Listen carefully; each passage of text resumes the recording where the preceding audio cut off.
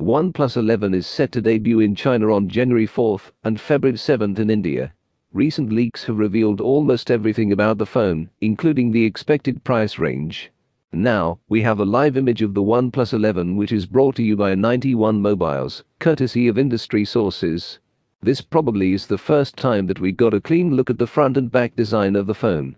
OnePlus 11 Archaea the Robbery Edition is expected to be powered by the Qualcomm Snapdragon 8 Gen 2, triple Hasselblad cameras on the back, and a punch hole cutout for the selfie snapper. The OnePlus 11 will come as a follow-up to the OnePlus 10 series that included multiple models. The flagship has flat edges as opposed to curved edges on most high-end flagship phones which has become quite a tradition of the flagship models. Anyway, the OnePlus 11 has flat edges on the front and a left-positioned punch hole cutout for the selfie snapper. There is an alert slider and power button on the right edge, while the volume rocker is placed on the left. Moving to the back, the phone appears to have a sandstone finish for a better grip on hands. There is a circular camera module that is aligned to the right edge and has a glossy finish. The camera module houses triple sensors and an LED flash.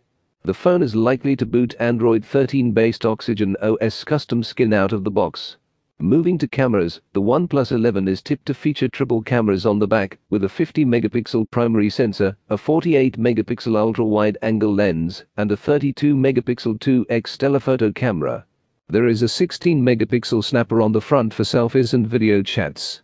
I think OnePlus could have done much better in terms of design and specification. Do let us know if you like this device in the comments section below. With that being said I will see you guys in the next video.